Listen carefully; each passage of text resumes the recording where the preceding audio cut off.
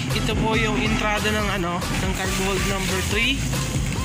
And uh, yan po vertical ladder. So bababa, bababa po ako dyan. Pupunta ako sa bodega.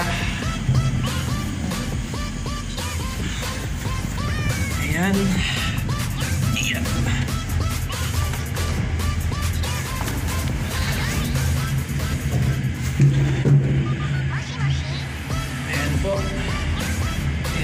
Sa loob ng uh, upper stool. Australian ladder. So madumi po siya, no? Alikabok ang natira. So kailangan po talagang tanggalin para malinis pagdating sa arrival port. At kailangan makapasa sa inspection sa Canada. For the meantime, piniprepare namin ang bodega para pagdating ng inspection is uh, ready to receive the cargo po kami. Okay guys, bababa ako sa cargo hold.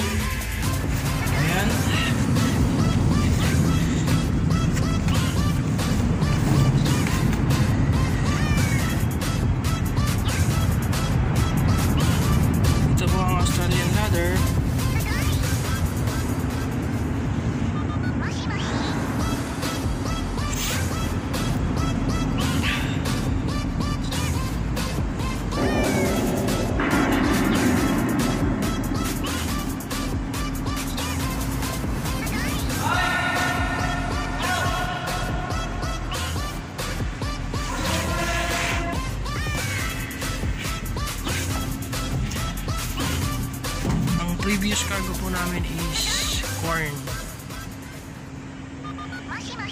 Ayan, madumi po ano. So, export namin is Vancouver, Canada. Ayan po yung tank top.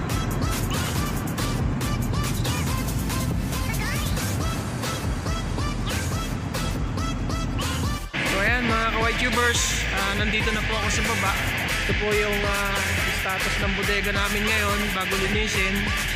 So napakadumi. So maganda po po ang condition itong barko na to. Ah, pangalawang balik ko po dito last 2018. Sa awa ng Diyos po nakatapos ako ng kontrata tapos balik naman ako dito. Sobrang taas po itong bodega. Ah, mapagod, akyat baba. Kailangan na malakas ang resistensya.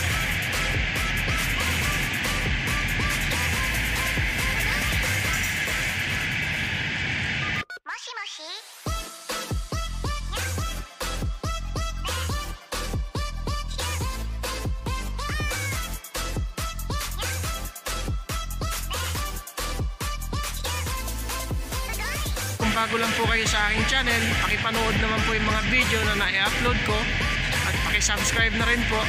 Pakipindot po ang notification bell para updated po kayo sa mga bago kong i-upload na video. Salamat po sa inyong panonood at God bless all po sa inyong lahat. Magandang araw po.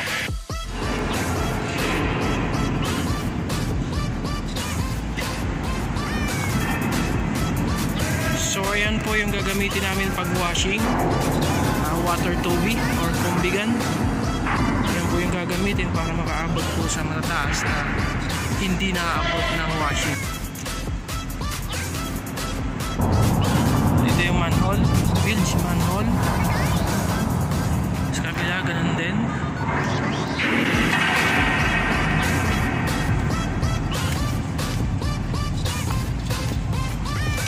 Boss kaway kaway boss Eh, isesend ko to sa inyo. At least uh, meron kayong remembrance. Agit, bali, inaano mo na lahat na sir. Oo.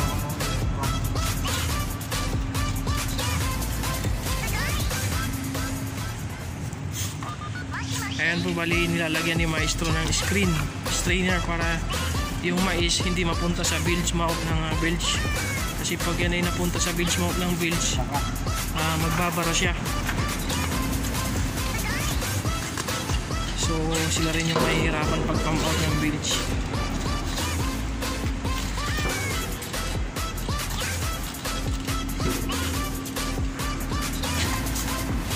So kailangan bago magsimula, uh, meron siyang strainer. So kailangan siya ng still na, still ko page, o hindi siya, ano rin ako agad. So,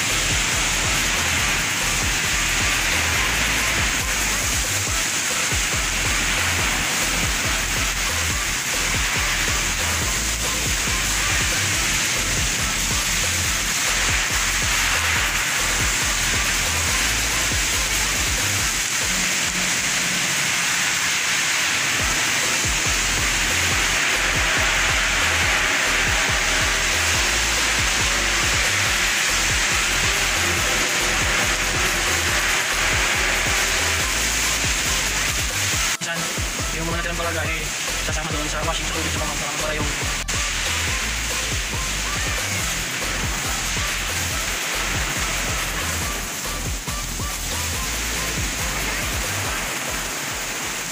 So, kailangan ibabad sa tubig para makakabal naman ito.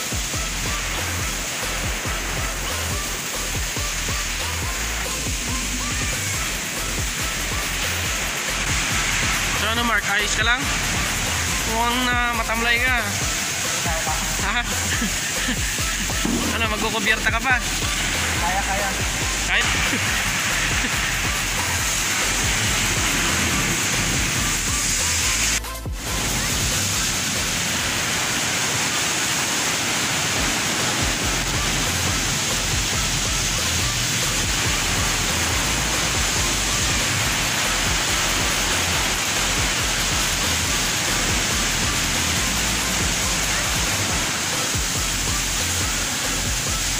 Ha?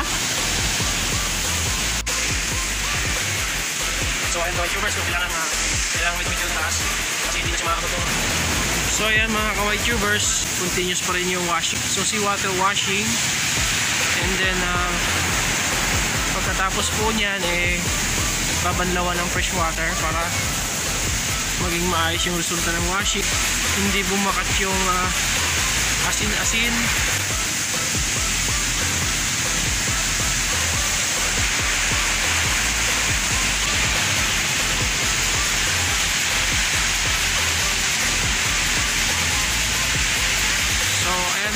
Mga kawai tubers, kung makikita nyo, ah, pag ah, titirahin sa baba ng ah, seawater, hindi po siya kayang abutin dito sa taas. Kaya kailangan mayroong tumitilaw talaga sa may hagdanan.